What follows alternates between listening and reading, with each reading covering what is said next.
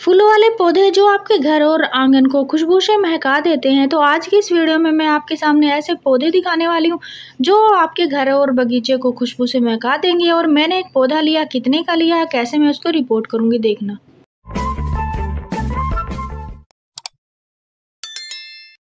नमस्ते फ्रेंड्स, कैसे हो आप सब? आए हो आप अच्छे होंगे, मैं भी ठीक हूँ। तो एक नए पौधे के साथ फिर से आ गई हूँ आपके सामने। ये वाला जो पौधा है, इसका नाम है मधु कामिनी और ये बहुत ही प्यारा पौधा है, बहुत ही अच्छी इसमें खुशबू आती है और ये मैंने यहीं गली में से एक भाई आया था सेल करने वाला, उससे लिया था एक सौ का उन्होंने दिया।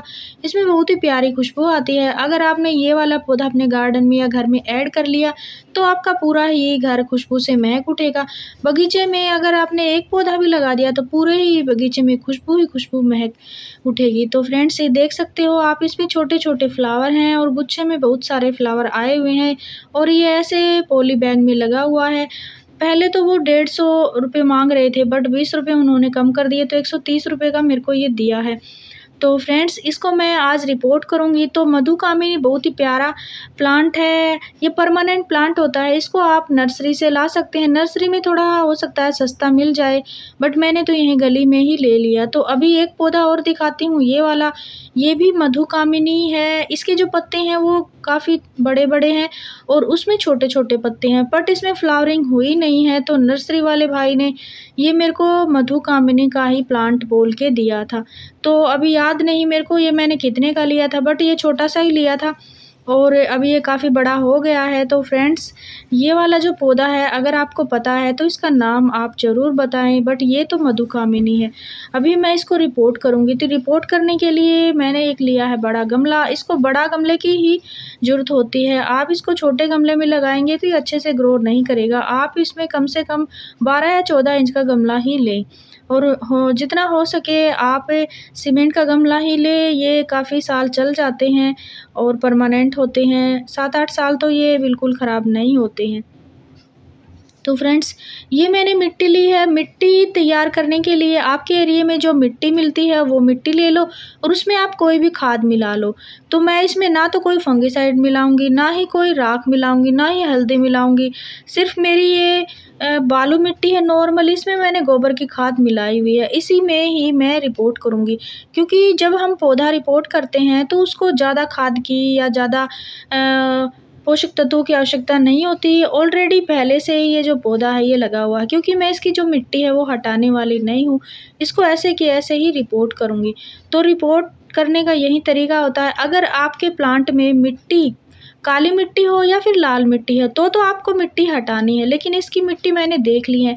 ये वेल्डन मिट्टी तैयार की हुई है, यानी जो नॉर्मल मिट्टी होती है, वो वाली मिट्टी है, और उसमें जो रेत आती है ना, जो यमुना नदी में बह के आती है, जो उधर हमारे यमुना नगर की साइड से जो नदियों के द्वारा जो रेत, बारीक बिल्कुल ब्राउन ब्राउन से रेत आती है, वो इसमें मिक्स की हुई है।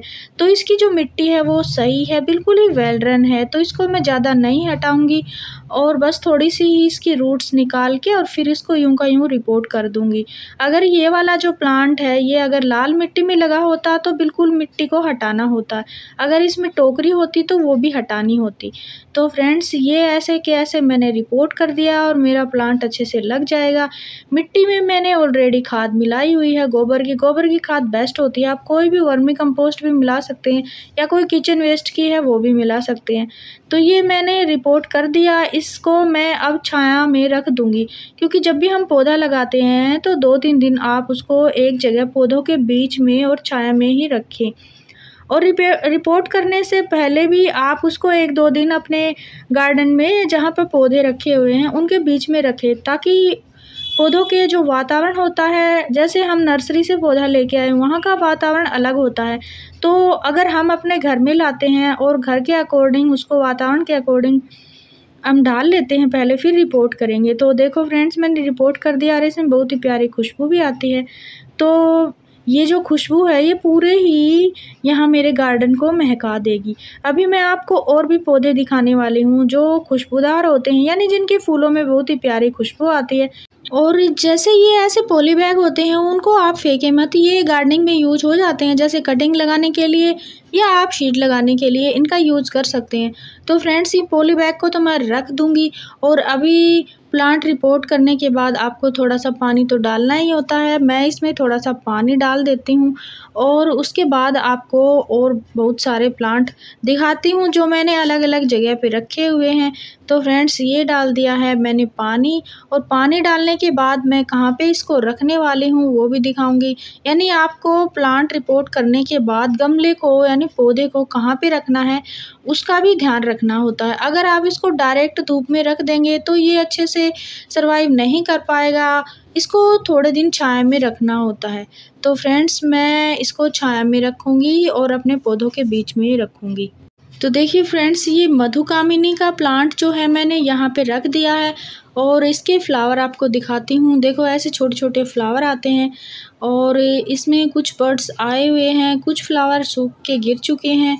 तो फ्रेंड्स काफ़ी घना प्लांट है और प्राइस के अकॉर्डिंग मेरे को सही लगा तो मैंने ले लिया। वैसे मेरे पास जो बड़ी पत्तियों वाला प्लांट था, वो उसमें फ्लावरिंग हुई नहीं है और एक प्लांट और भी है मेरे पास, छोटा सा ही। बिल्कुल ही बोनसाई टाइप का, वो भी आपको कभी दिखाऊँगी। तो फ्रेंड्स, यहाँ दीवार की छाया रहती है कुछ देर के लिए तो मैंने यहाँ पे रख दिया है। और यहाँ पे मैंने अपने और प्लांट जो जेड प्लांट हो गया, यहाँ फ्लावर वाला जो अपराजिता हो गया तो फ्रेंड्स, ये वाले जो पौधे होते हैं, ये मैंने यहाँ पे रखे हुए हैं और ये रात का रानी है। तो फ्रेंड्स, अपराजिता हो गया, पारिजात हो गया और ये मधुकामिनी कहते हैं कि ये वाले जो फूलों वाले पौधे होते हैं, ये स्वर्ग से आए हैं। तो फ्रेंड्स, अभी नेक्स्ट मैं आपको दिखाती हूँ जो खुशबू वाले पौधे होते हैं, ये है मोगरा। तो मोगरा को भी आप ला सकते हैं। इसमें भी बहुत ही अच्छी खुशबू आती है।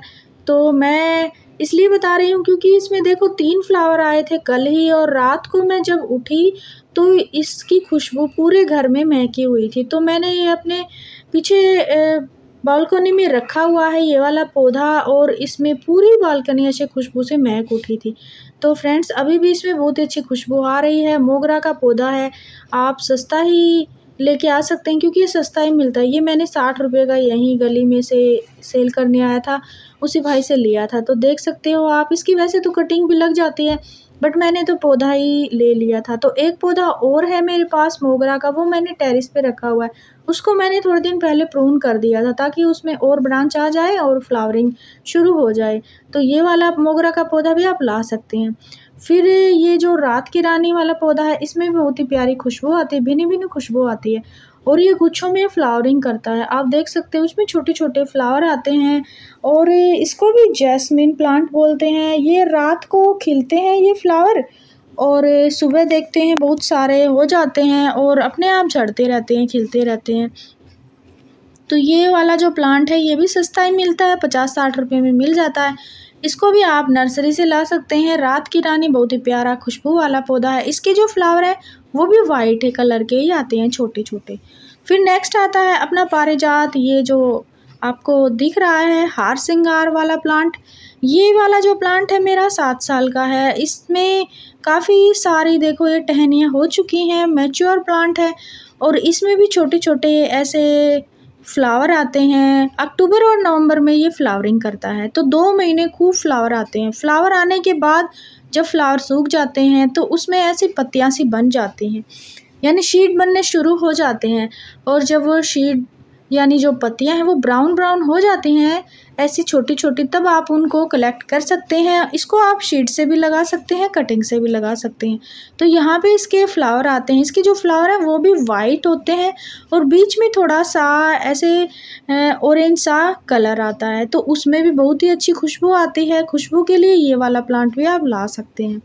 फूलों वाले तो और भी बहुत सारे प्लांट होते हैं, जैसे टिकोमा होता है, इसमें भी भीनी भीनी खुशबू आती है और हमारे गार्डन को ये महका देता है। और इसके जो फूल हैं, बैल की तरह ही नज़र आते हैं, जैसे जो घंटी होती है, जैसे हमारे स्कूल में जो घंटी बजाते थे बच्चे, उसी के जैसे इसके फ्लावर होते हैं। जैसे बहुत सारी मंदिर में घंटियाँ होती हैं, ऐसे ही इसके फ्लावर ऐसे लटके हुए होते हैं। तो इसमें भी बहुत सारे बर्ड्स आए हुए हैं। टिकोमा में ये रेड आता है, एक येलो भी आता है तो येलो भी है मेरे पास और ये रेड भी है। इसमें देखो छोटे छोटे यहाँ पे आप देख रहे हो, कलियाँ आई हुई हैं और अभी इसमें बहुत सारे फ्लावर आने वाले हैं। नेक्स्ट नेक्स्ट में देखना बहुत सारे फ्लावरिंग होएगी। तो देखो यहाँ भी छोटी छोटी कलियाँ बन रही हैं, यहाँ भी फ्लावरिंग शुरू हो गई है। तो टिकोमा भी परमानेंट प्लांट है, कभी गार्डन से नहीं जाता है। टिकोमा को भी आप ज़रूर लेके आए। अगर आपको अपना गार्डन फूलों से महकाना है, खुशबू से महकाना है तो ये वाला प्लांट भी आप ला सकते हैं। फिर नेक्स्ट फूलों से भरा हुआ जो प्लांट होता है, वो है मिनी चांदनी। वैसे तो इसमें थोड़ी बहुत तो खुशबू आती ही है बट ज़्यादा खुशबू नहीं आती है, जैसे मोगरा में आती है, जैसे मधुकामिनी में आती है बट इसमें फूलों की बहार आती है। यानी बहुत सारे गुच्छों में फ्लावर आते हैं, ये भी वाइट कलर में है, और ये वाला जो प्लांट है, ये भी मैं नर्सरी से लेके आई थी, और इसका जो प्राइस है, वो मेरे को याद तो नहीं बट ये शायद डेढ़ सौ के आसपास आपको नर्सरी में मिल जाता है। फ्रेंड्स एक पौधा और आता है, मधुमालती क्रीपर वाइन बोलते हैं। उसके फूलों में बहुत ही अच्छी खुशबू आती है, वो भी आप ला सकते हैं। वाइन की तरह ही होता है। और कमेंट में ये ज़रूर बताना कि ये मधु कामिनी का ही पौधा है या कोई और है। तो फ्रेंड्स अगर वीडियो आपको अच्छा लगा हो तो वीडियो को लाइक करें। चैनल पे अगर न्यू हो तो चैनल को सब्सक्राइब ज़रूर करें। Thank you